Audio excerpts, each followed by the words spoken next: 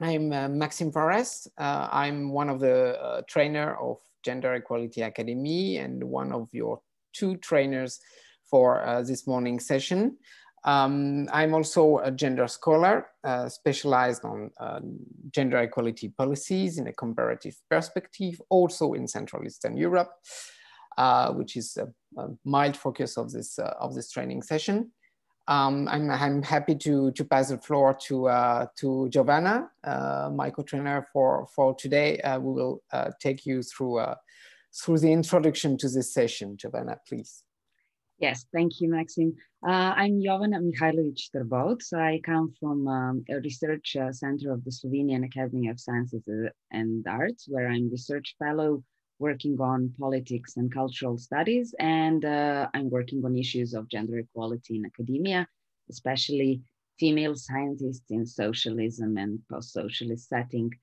Uh, and I also participated in gender equality plan uh, development and implementation at my organization. So it's also, uh, I'm, I will be talking today uh, also from personal experience. Before uh, we move on to the topic of uh, today's uh, workshop, I will I would like to introduce you to Gender Equality Academy program, which was uh, developed to provide uh, coherent capacity building uh, uh, uh, by trainers with their own experience. Um, and it is based on state-of-the-art knowledge and expertise from the trainers who are also gender experts themselves. Um, the specificity of Gender Equality Academy is that it's providing tailor, also tailor-made uh, trainings uh, to different targets groups, uh, to decision makers in uh, research and academia, uh, human resources management, or gender or equality diversity officers, or people uh, providing these services in, in institutions, and of course, researchers and scientists uh, them, themselves. Um, Gender Ac Academy is providing different formats uh, of the training. Um, unfortunately, at the moment, we are not providing in-person uh, trainings uh, due to the COVID, but before the pandemic started, um, we did, and this is the plan also after. Uh, in, uh, in the meantime, we have improved uh, online trainings, which are also available in non-pandemic times. Uh, different workshops for institutions or for um, uh, heterogeneous uh, group as it is uh, today from different countries, different institutions. Uh, we are also providing webinars. Um, you can find videos of uh, previous webinars on G Gender Equality Academy website.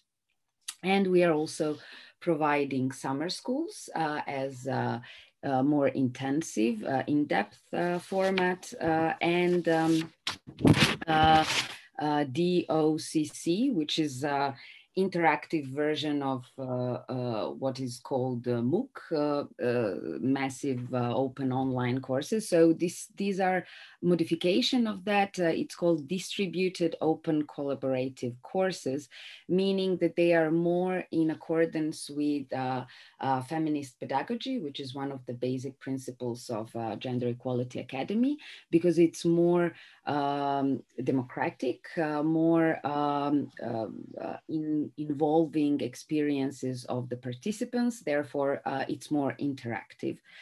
Uh, and uh, it's covering all these trainings are covering different topics um, that are um, uh, more um, more basic or more advanced depending on the previous experience of train of the participants uh, and the topics are spanning um, uh, from organizational culture to issues of work-life balance, uh, evaluation in academic careers, uh, uh, and of course, uh, gender in curricular and subject of research.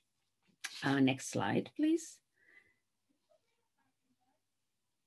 Um, so our agenda for today uh, is to first present uh, some basic concepts uh, uh, uh that are important for understanding issues of gender equality.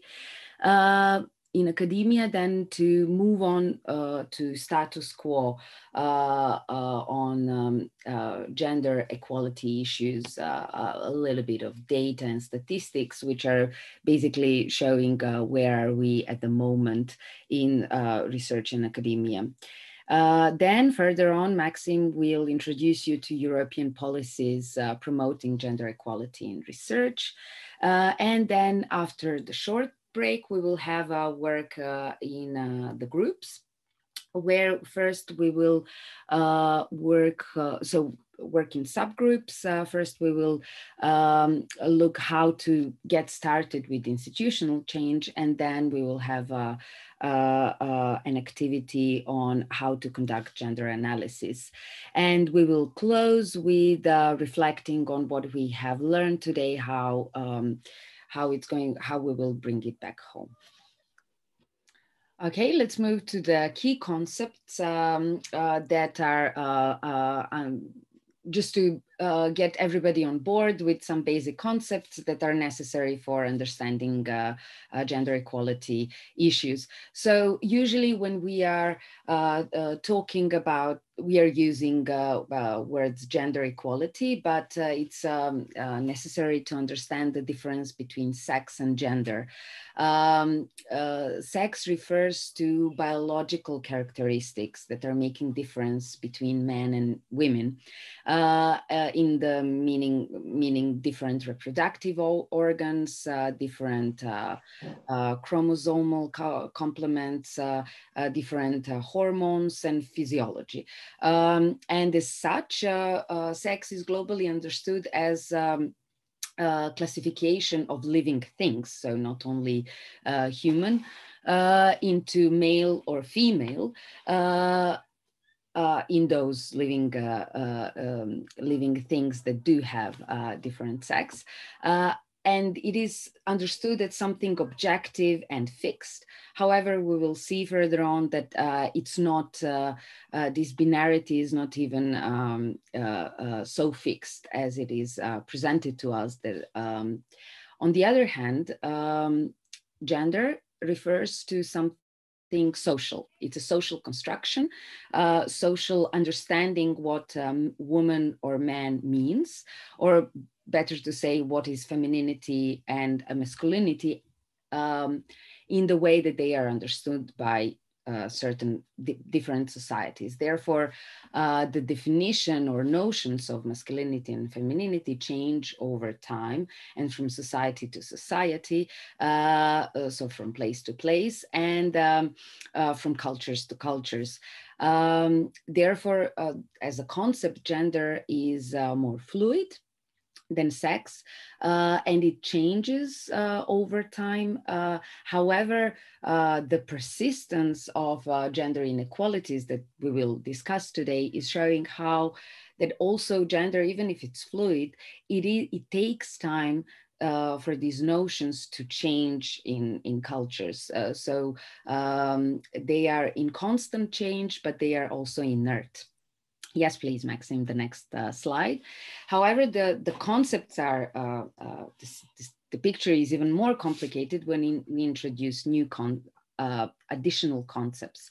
So um, through this genderbread person, I think it's a good way to present these concepts. So um, as we see biological sex as we said are is objectively uh, measurable difference in organs hormones and chromosomes um, and uh, we have uh, male and um, uh, uh, female uh, sex. However, uh, uh, we like to understand it as a continuum. As you see, the third purple line is showing that male and female are just extremes of a, within a continuum and uh, statistically small, but, but still uh, present, uh, there is a small number of individuals, uh, humans, uh, who are uh, intersex, meaning that they are bi biologically structured in a way that you cannot easily say whether they are a man or a woman.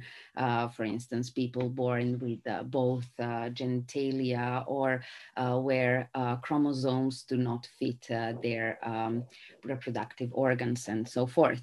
Uh, and, in, and when we move to the issue of gender, uh, even more, we should understand that gender is not a binarity between men and women, but should be understood as a continuum where femininity and masculinity are just um, are just uh, the end extremes. Uh, so um, when we talk about gender, it is important to understand that there is a difference between gender identity, and that is how somebody feels or thinks about themselves, uh, and gender expression, and that is how they uh, show themselves to the world, how they dress, how they behave, in what way they speak. Uh, so uh, the, if we understand gender identity as a continuum between extremes where uh, at the ends are men and women, uh, there are many people who are somewhere in the gray area or in purple rainbow area, people who uh, feel uh, gender uh, queer or intergender. Uh, there is a whole discussion of uh, plurality of notions and, and um, concepts uh, that uh, describe how people feel about themselves outside of uh, boxes of men and women. And the same is for gender expression, and that is how people express themselves to the society. So many people do not fit into clear boxes of typical femininity and masculinity, you know, uh, female wearing dresses and men wearing ties. But there are many people who uh, decide uh, uh, uh to present themselves in more androgynous uh, ways or outside these typical boxes. And then we have sexual orientation, and that is uh, something that is uh, describing who are we attracted to. And this is not directly connected with the gender, but uh, it's more um, uh, connected to, uh, so who are we attracted to? But this is also socially conditioned because societies are allowing us or not allowing us to love marry and express our love in publicly uh, uh, acceptable ways. Uh, this is also socially conditioned. So um, when we talk about gender equality, Maxim, uh, please, the next uh, slide. Um, we understand uh, uh, gender equality as uh, freedom to develop personal abilities and choices without um, uh, limitations imposed by strict gender roles as they are defined by traditional patriarchal society. So although gender uh, is often uh, Uh, uh, uh, refers primarily to the uh, situations of men and women, uh, attention should be uh, given also to preventing discrimination on grounds of sexual orientation, so to people in LGBT plus community, and gender identity and expression uh, meaning uh, uh, expressing outside of these typical traditional uh, boxes of typical femininity and typical masculinity. So when we talk about gender equality, we are not just speaking about women, but uh, in a more broader understanding of what equality is. And when we talk about equality, gender is just one of many ways uh, through which people can be discriminated. Uh, and uh, gender discrimination is never uh, uh, the, is uh, only is never divorced from other types of discrimination because our identity is complex. So Maxime, please, next slide. Um, this is why we um, like to talk uh, uh, uh, about intersectionality as a basic approach from which we are starting. Intersectionality is a way of understanding humans, that every person is a mosaic of identity, where gender is just one aspect of identity, another is our education, our um, ethnic background, our race, age, uh, ability or disability, being uh, marital status, being married or single. These are all aspects that are basically defining our position within society uh, and may put us in different uh, roles and uh, uh, different experiences. I would also like to say that um, each of us uh, will probably choose the strategy how to mobilize support for uh, these gender equality measures uh, in the institution and maybe some of uh, what we are presenting is not uh, good for your argument or uh, i mean something else like european policies might be the good persuasive argument. However, we are starting uh, with uh, this introduction for you because we wanted to uh, like to start the debate from the same level of uh, understanding of the basic concepts. A big um, uh, uh, horizontal segregation. So even though uh, the number of women in science in research has increased over time. There is a big difference across uh, academic fields, which are creating sort of horizontal segregation uh, among genders, meaning that women have entered certain academic fields and are even now dominating or being majority in certain academic fields in certain countries, while in other uh, academic disciplines, they are still in minority. I'm here presenting she figure data try to look at uh, your country uh, the or the color of your country and uh, look uh, what is the this is the number of or percentage of women uh, um, researchers in natural sciences then engineering and technology, medical sciences, uh, social sciences, humanities. And as you can see in, um, in social sciences, humanities and medical sciences in majority of European countries, women are majority, while it is evident then in engineering and technology and uh, to a lesser extent in natural sciences, but also there, these two academic fields are still traditionally male uh, dominated. Maybe what you can notice is that uh, certain uh, countries uh, in Eastern and Central Europe have a much higher uh, uh, scores of women in these academic fields than compared to Western European countries. Uh, and I think this is important to uh, note because um, this is these data are also undermining this understanding that somehow gender equality is more developed in the Western European countries. Data are some, sometimes showing that socialist uh, legacy or uh, legacy of uh, different uh, scientific developments are producing different level of gender equality.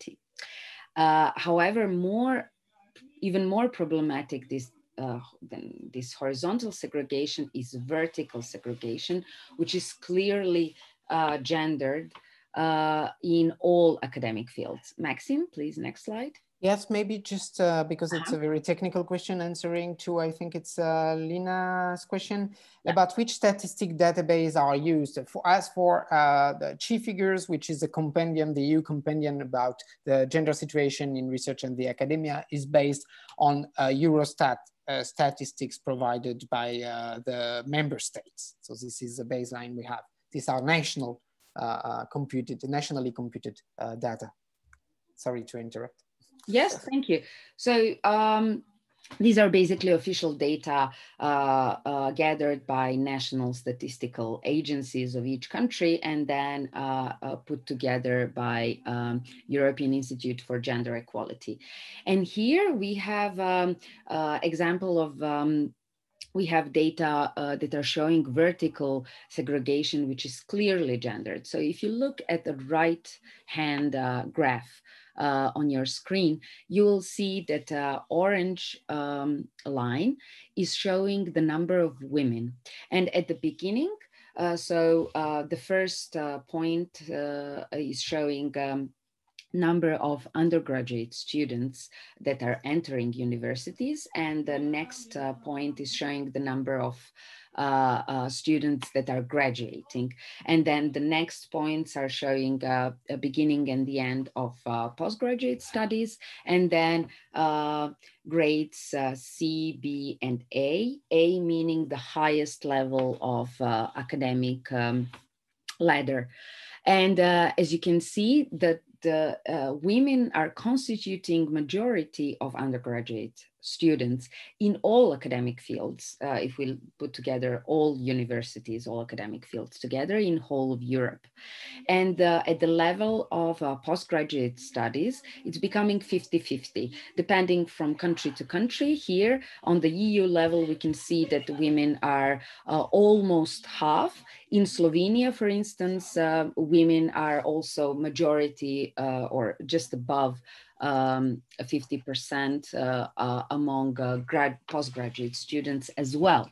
However, this does not translate to the higher levels of academic hierarchy. And the higher we go, there, there is bigger discrepancy between men and women, and men are occupying the highest uh, academic positions.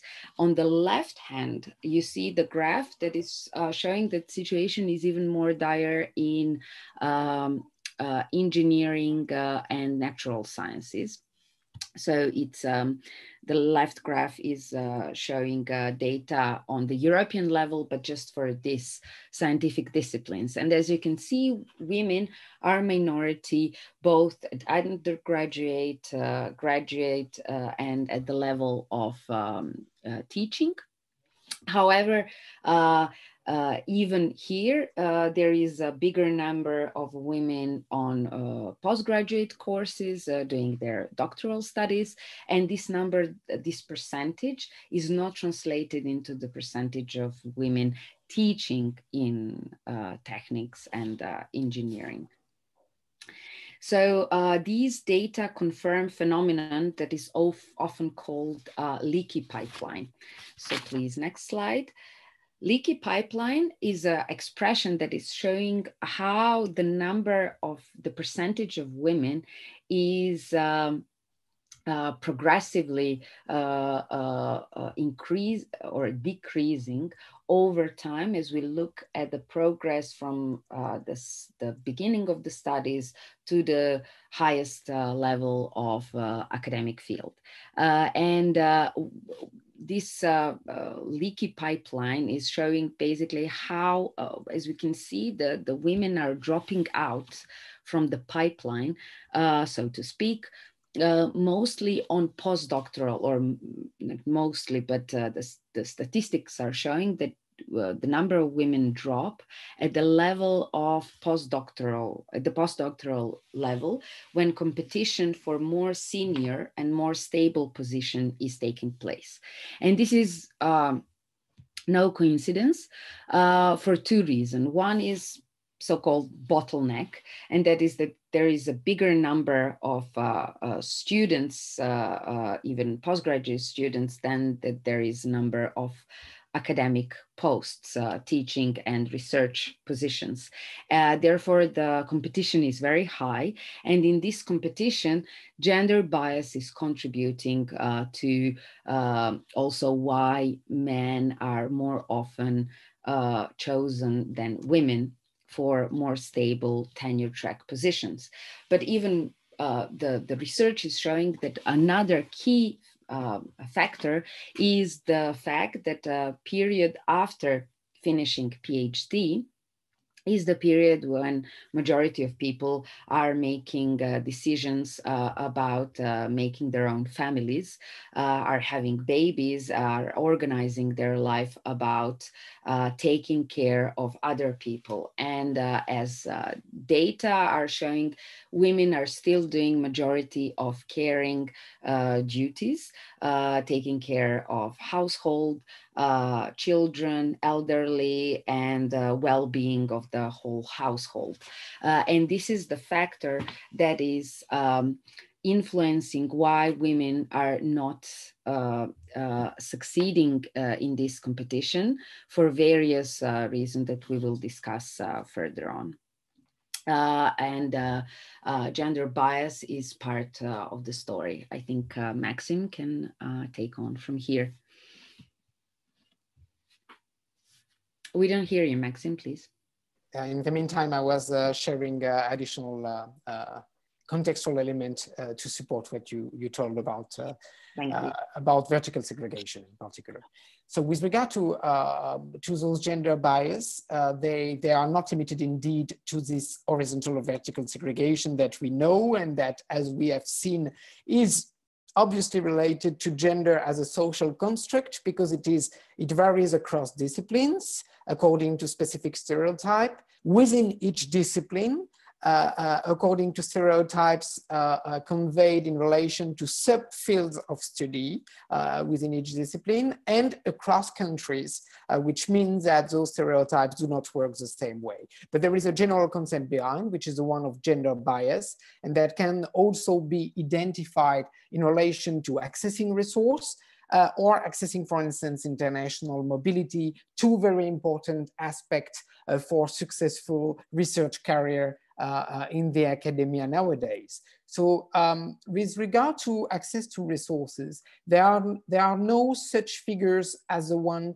provided, for instance, by SHE figures every four years at the EU level, at a very aggregated level. But every time uh, there is a um, a pilot study carried out in one or another uh, uh, uh, EU country or country of the European research area with regard to uh, the access of men and women to uh, grant review processes uh, to uh, get funded for their research, uh, what we see is that there are persisting gender gaps that have been documented also in science journal and in many other research outlets. So for instance, in this survey, which is quite old now, it's, nearly, it's uh, over eight years ago, uh, in the Netherlands with the National Funding Agency, what we see is something that has been documented widely elsewhere.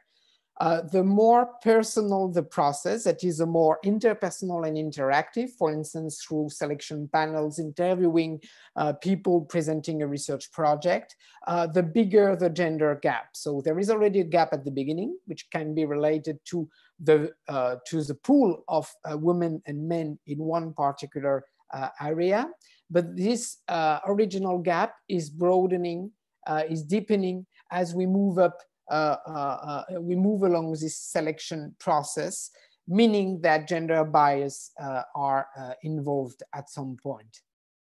Another interesting figures uh, here coming again from the latest issue of uh, SHE figures is in relation to accessing research mobility. What we see here, a bit like for the first slide that Giovanna presented about horizontal segregation, is both, um, if we zoom out, we see the general picture. The general picture is that men and women do not have the same opportunities in accessing international research mobility that can support their further career development. In general, women, there is a gap that can uh, amount to uh, up to 10 or 11% between the uh, international mobility of female researchers and of male researchers. Uh, and if we zoom in, we see that the situation is variegated across uh, the countries of the European research area, in that there are some fewer countries where the gap is to apparently to the benefit of women. But if you look to uh, the extreme left of this graph and you see uh, that uh, uh countries where um, um, there is this bigger gap uh, are, for instance, Slovakia or Poland or Ireland, just to um, um encapsulate a little bit or summarize a little bit these notions, um, the influence of those different bias uh, over uh, uh careers in the academia with regard to gender um, in the notion of gender bias merit. So what we see is that there are persistent inequalities and those persistent inequalities that affect virtually all research organizations across Europe means that those organizations have remained largely gendered and that they do not provide similar condition to their staff uh, based on these uh, factors. So the notion of meritocracy, uh, which is the one upon which usually those organizations are building their management policies, at least they pretend so, is uh, also likely to reproduce uh, uh, gender bias. And this is um, quite understandable because there is a widely shared belief that you may face in your, face in your own organization that uh, uh, the way to treat people fairly is to treat them all the same. That is to uh, stick to a generic norm and standard of research excellence or of academic merit. So, but the problem is that if that standard is the same for everyone, not taking into account their different position of departure, then it is not amounting to treating people fairly. Actually, it's quite discriminatory. So there is this uh, misconception that we have to deal with very often. That is that treating employees the same is not equivalent to treating them equally. And in most cases, same treatment will be quite unfair as on this cartoon.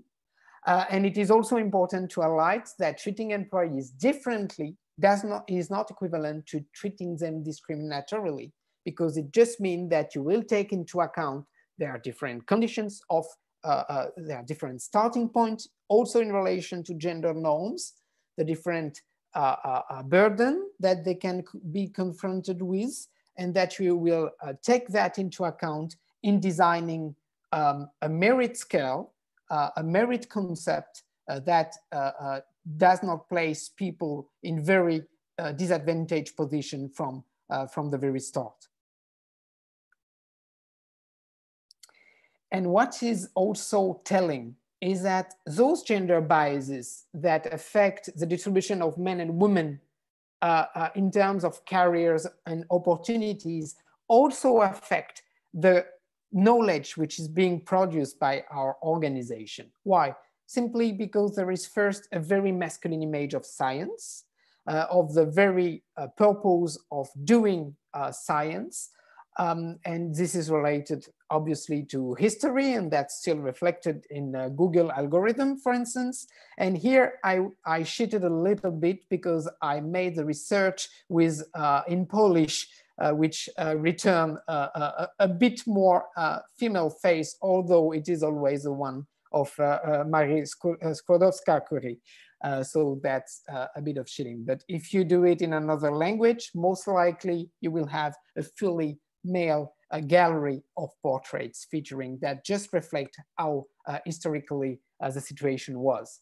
And this is also related to um, the invisibilization of the contribution of women to science. So it's not just that they have been long excluded from higher education or academic institutions like universities, and that still uh, since the Middle Ages, but also that when they have made strong contributions to a particular field, for instance, in STEMs, um, uh, they are often not acknowledged uh, uh for their work. And this has been coined actually as a uh, the Matilda effect, consisting in systematically uh, invisibilizing uh, the contribution of women to sciences and technologies by considering that their own endeavors and contribution were not their own and that they had to share it with uh, male uh, that usually get most of the credit uh, for it. And here you have a few examples. You can find, find so many more. And ultimately, we see that the knowledge and research which is being produced is usually gender blind, does not take into account neither potential sex differences, nor the differences which are induced by different gendered roles and the conduct of men and women in society.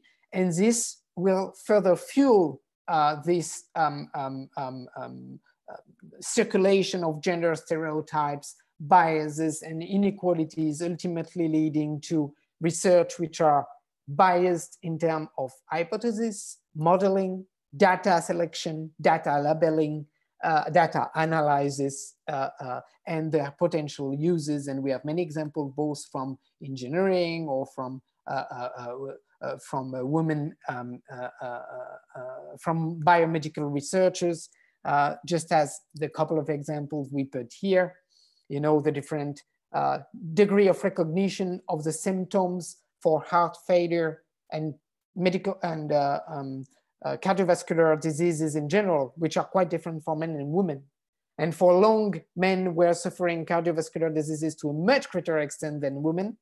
And then women started to share some social habits like drinking or smoking or professional stress with men uh, as they entered also in the paid work uh, area on the top of their unpaid uh, care duties. And this led them to uh, uh, amounting for a significant proportion of people suffering cardiovascular diseases without biomedical research adapting to their particular symptoms or uh, uh, characteristics, which led ultimately to epidemiological consequences. Women are still less at risk of suffering a heart failure than men, but they are more at risk of dying from it than men are because their symptoms are not covered or dealt with. And uh, uh, more recently, in the area of uh, ITs and ICTs, we have seen emerging many, many research evidencing gender and other bias as racial bias as the one that show that the main um, facilities for facial recognition that have been designed over uh, the few last years uh, are all very uh, biased in terms of gender, but also race and the intersection of both lead to the poorest uh, results, showing that intersectionality in practice uh, works in a very negative way. So if there are such, uh, uh such um, actually biases, uh, it's because uh, they are widespread and that we all own them. That's not related to uh, who we are or which is our own gender, actually, uh, and sex. It is very much related to the way our brain is working. And uh, they are, uh, it's uh, usually very useful at the time of, uh, you know, starting your gender analysis in your own context to define and share with stakeholders about those unconscious uh, bias, which are many. You will find in the PowerPoint that you will receive afterwards further example from the IT sector, but here I would like first to go to the definition because we are slightly late uh, on timing. Um, so unconscious bias, uh, that the common definition which is often given, occurs when we make judgments or decisions on the basis of our prior experience, our own personal deep-seated thought patterns, assumptions, or interpretations, and we are not aware at all that we are doing it. And uh, now, if I'm correct, I will be the one to take you quickly through a recent development uh, uh, at European and national levels in terms of promoting gender equality in research for two reasons. First, because those policies are based on the status quo and a common understanding of the status quo that we just described. So this is a baseline of it. Those policies basically exist because they acknowledge the situation of segregation, both vertical and horizontal, and of gender bias in research that we just described, but also because those policies are moving fast ultimately, and they are providing a global context for reshaping the understanding of what scientific excellence and academic merit are, which is very relevant to our point today. So it's important to have this broader view. So as you know, the EU policies are not new in this field. They can be uh, traced back to uh, uh, uh, uh the late 1990s, 1999. They celebrated their 20 years last year, so they entered in their, into their third decade. And if we just make a quick distinction, there were basically two phases in those EU policies for gendering research. A first phase is during which it was all about fixing the woman. So because the institution in scientific production was, uh, uh, uh, uh um, um, you know, had a pattern which was very androcentric and male-centered, the purpose of those policies was basically to adapt women to this dominant norm by coaching them, training them, mentoring them, for instance. But we quickly realized that it did not change much the picture or not fast enough, simply because you had to put virtually one mentor or one trainer be behind each potential, uh, each woman potentially wanting to access further step in her career and it doesn't work that way. So the second phases that came from the mid 2000 was about changing institution so that they would ensure gender equality in scientific careers, gender balance in decision making, and also integrating the gender dimension into the content of research because bias and their result in terms of segregation are very much connected as we have seen. So now the policy, the EU policy is basically responding to the who, what, and how question. Who, it's about equal opportunities of men and women in research. It's about fixing figures. What and how, it's about integrating the gender dimension in research content. And it has been working that way for the last few years. What is more important and what I would like to highlight here, which is relevant to our um, subject of the day, is that there are recent trends in gendering the European research areas that is also beyond Europe toward, uh, uh, uh, uh toward uh, other countries.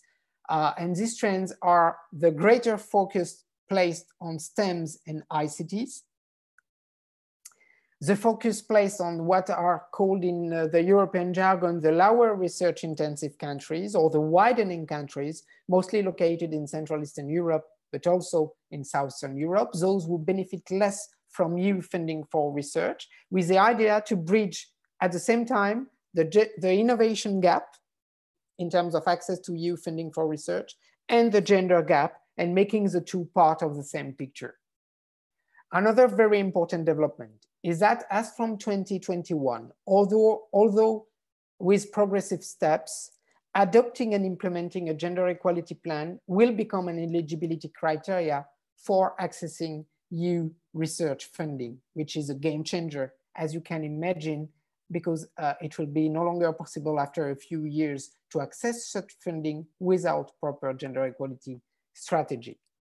And recently as well, the European Commission decided back in November last month to support research on intersecting inequalities also through EU research funding, opening new ways uh, to, to explore those ideas. And to support institutions in doing so, uh, there are tools that are, are, being updated and tools that will be created. The uh, one that, sorry, one that you may know, which is uh, gender uh, equality in academia and research tool called GEAR, available from the European Institute for Gender Equality, uh, that has been updated content-wise uh, over the months of September and will be uh, uh, made more user-friendly as from next year. And a new European support facility for institutions implementing gender equality plans so as to provide them not only with tools, good practices, but also with help desk support, knowledge transfer in form of training, and so on and so on. And by the way, uh, Gender Equality uh, Academy is part of this uh, recent picture of this recent evolution because it is meant to provide new standard for gender equality training and making a broader offer available. Uh, so um, now we will, um, uh, Maxime has uh, nicely pointed out that European strategies uh, of um, uh, helping uh, or supporting gender equality were initially uh, dealing with how to fix women. Uh, and have come to the point where we realize we have to fix the organizations. Uh, basically, we need changes within the institutions. Therefore, it is important to be on board that, that everybody understand when we say institutional change, what we mean by that. It is strategical change, not just the change that happens due to changes in academia and economy, but strategically aimed um, uh, change that is initiated within uh, the institution itself and is tackling how the work is organized and how it is, the practices of working uh, are um, uh, being executed within the institution. And uh, therefore, institutional change would be um, uh, involving um, the detecting obstacles to gender equality and then thinking strategically how to tackle them and to change them. Therefore, um, there are different areas of actions that are usually subject of institutional change and not but not every institutional change is including all of the aspects that we will be presenting. This basically uh, depends on what is the starting point within the organizations in all these areas. So the organizational culture meaning how institution uh, is uh, uh, organizing uh, everyday uh, work one what is the usual form uh, of the meetings and decision makings all these subtle um, things that are not just part of legislation, but the whole culture that is determining how the institution is working. Uh, this is also including reconciliation of work and private life. Uh, institutions have uh, many um, possibilities to go way beyond the legislation, uh, uh, way beyond what legislation uh, um, you know, decides as eight hours working hour and certain type of uh, pattern of um, parent leave or leave for taking uh, care of your children. So how the institution is reconciling the two is usually a big part of institutional change. Then um, all um, uh, practices and uh, norms uh, of uh, that are determining how recruitment of academic staff, their selection and their career progress is uh, taking place. this is usually something that is very gendered in practice, but very neutral on paper. So this is what, what where institutions can do a lot then leadership and decision making uh, for instance uh, whether institution is taking care that uh, decision the, that uh, decision making bodies are gender balanced and that uh, uh,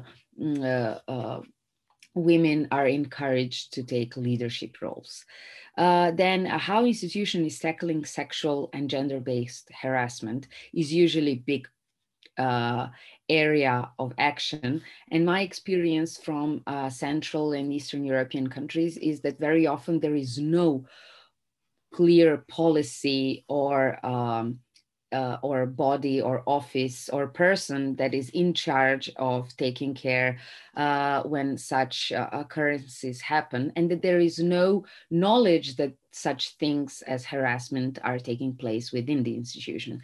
So sometimes um, institutional change means also starting from a scratch, inventing something that there was not uh, there before. And uh, uh, in institutional change may encompass also integration of gender perspective in research, in teaching. So change of the curriculum is uh, very often part of institutional change, uh, especially if it's uh, one that is uh, intentionally thinking how to make the subject matter of um, the academic research more gender sensitive.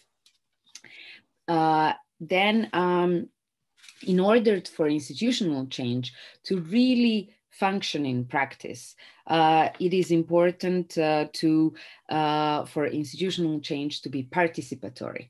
This means that uh, it's not uh, top down, but it's uh, involving um, institutional change should be involving as many stakeholders within the institution as as as needed. Uh, uh, so it should be holistic to include people from all segments of institutional working. So if institutional change is only uh, uh, decided and uh, uh, by academics and it's not really involving uh, the aspect of uh, necessary administrative change then those who are supposed to implement it uh, are not going uh, to either understand what they are supposed to do or they are, will not be committed and uh, the change will not be really uh, long-term and effective. So institutional change needs to be inclusive and here very often academics need to put down their uh, hat of authority uh, or step down from uh, the uh, prestigious uh, position and ask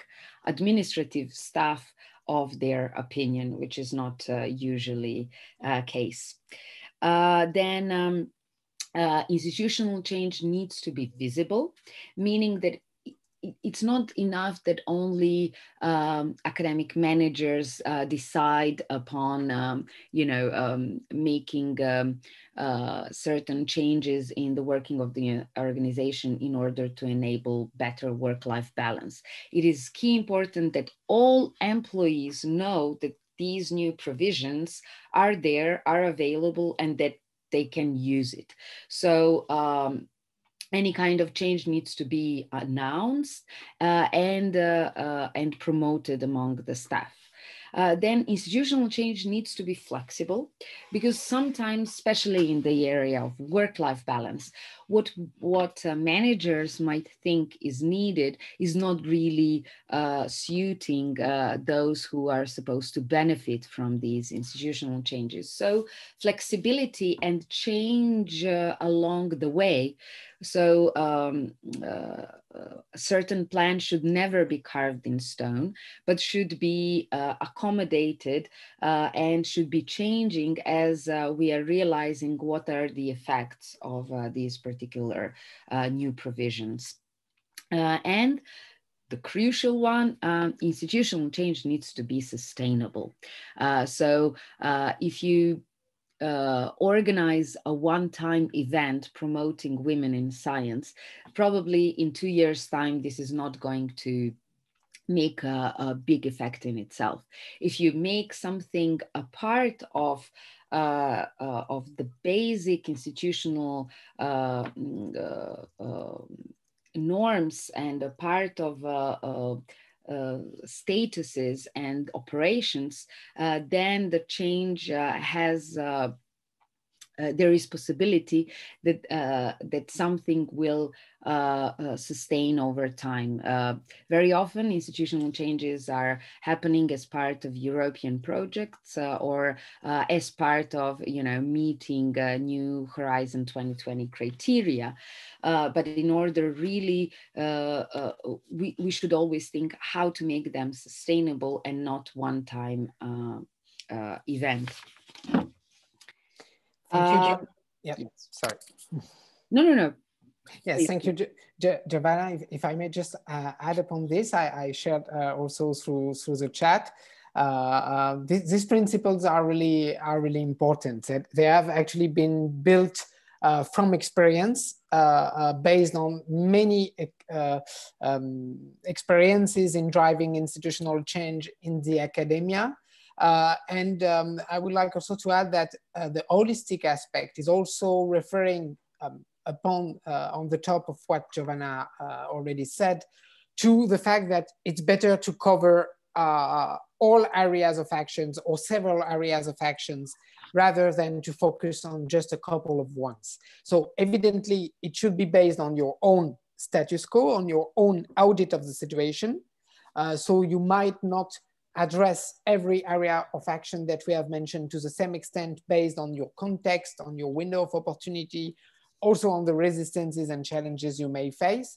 But it is important to cover different uh, of them uh, at once uh, uh because uh, uh, structural change or institutional change rarely take place with just one single focus of action. And in terms of visibility, what, what Jovana mentioned, um, on the top of uh, making the change process visible, at some point you need the changes to take place because they are not only promised and something that uh, is uh, definitely out of reach. It has to uh, change in the institution. So things may take a lot of time to change, like figures, you know, segregation, horizontal and vertical segregation, but other may not take so much time, like the communication, the visual of, of the organization, uh, the process uh, in reviewing um, um, research project, the way to, to define curriculum to integrate a gender perspective.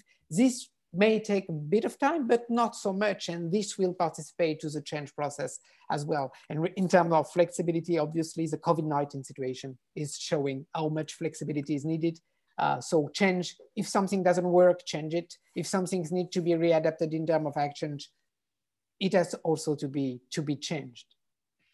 So from now on, from uh, on these good principles, uh, uh, all those principles are to be implemented. Well, they are to be implemented most of the, in most of the cases through gender equality strategies or plans. So the, the, the GEPs, the so-called GEPs, gender equality plans, that many of you are already putting together or implementing or forecasting, uh, they are simply a tool to make this institutional process of change uh, to take place.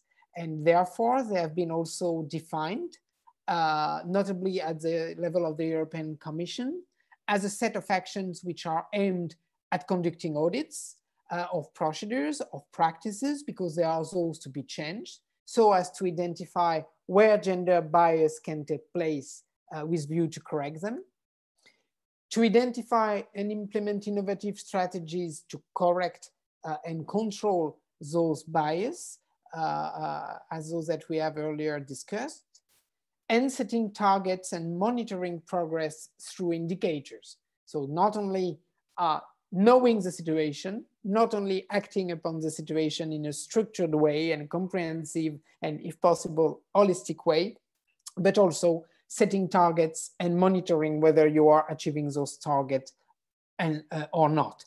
And for this reason, uh, a gender equality plan cannot be the mere adoption of generic objectives to foster gender equality. We see in many institutions general commitment toward gender equality. We want to be a gender aware or gender sensitive organization, and we will make sure to be it, period. That is not a gender equality strategy or plan. You need to, uh, sorry, you need to uh, uh, unfold these objectives in specific actions with people in charge of those actions, people or department or unit or mechanism uh, and with some monitoring instruments so that uh, you, uh, there is accountability towards those generic objectives. Generally, it is now um, acknowledged that there are at least six steps in uh, uh, uh, a gender equality plan process to deliver change. The first step is to get started. It is basically to know with whom you should work, who is in charge of what in the organization, uh, uh, uh, to get the basic knowledge uh, available so that you can uh, uh, foresee um, your um, how you will set up your strategy. It is analyzing and assessing the state of the place through gender audits, through gathering data, through building and building data which is not available yet, that also might be needed and that takes a lot of time, as you probably already know. Then it is setting up, designing your gender equality plan, ideally in a participatory way, so that it is not something imposed uh, from top uh, down, but something that involve different people in the institution, uh, and so that they can bring their own knowledge and views and align a little bit in terms of understanding of the uh, situation of departure. Then you have to implement it obviously, and uh, as effectively as possible, also through change facilitation and involving people, and to monitor progress and make regular evaluation of how does it work, how far does it deliver the promised change. The sixth step is important as well, uh, because often, as Jovana pointed out, uh, gender equality plan or strategy or process of institutional change as a whole is bound to, uh, uh, to um, a certain timing, the one of a project, the one of a determined strategy, the one of a mission statement implementation, and you need to think further so that it will be sustainable. So what will come later on? What will be the next step? Will be any further plan or strategy? Uh, uh, uh, what will come actually after. And with regard to sustainability that Jovana pointed out as well, which is a very key point, sustainability usually goes also with institutionalization.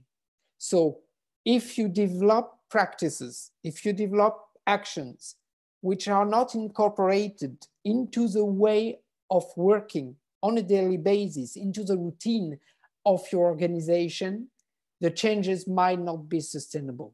They might not even produce the desired effect uh, because it has to be fully connected to the way your organization works. What we often see is the institutional change process for gender equality going on separate tracks with regard to other process of change, digitalization, internationalization, competitiveness uh, of the organization. So usually there is a big agenda that uh, your stakeholders are fully aware of, which is unfolding on its own rhythm and schedule.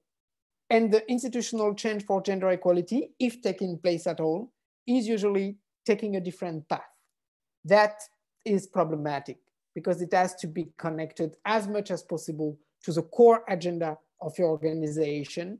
First, to be on the same level of importance and treated as such by your key stakeholders and top leadership, but also to make sure that any window of opportunities that will open in those other process of changes, which are likely to take place at the same time, will be used for mainstreaming gender into it and not being lost for the cause, if I may put it that way.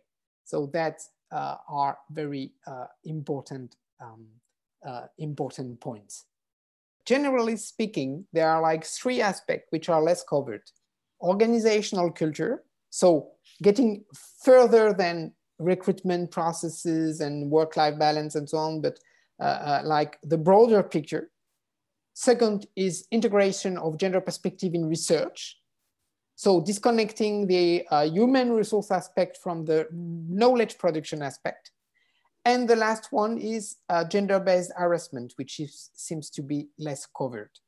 So this um, is consistent with what you see, generally speaking, in a EU-funded project aimed at implementing change. These are the three aspects which are usually less addressed and this might be problematic because if you have an institution where the broad organizational culture is completely androcentric, male-centered, does not allow for more diversity, if it does not uh, address properly potential cases of gender-based harassment or ordinary sexism, and if it does not connect the issue of uh, gendering the organization with gendering knowledge production, you might not have the full picture first, nor the backup, logical backup to articulate these different areas. So um, I think it's relevant to point this out.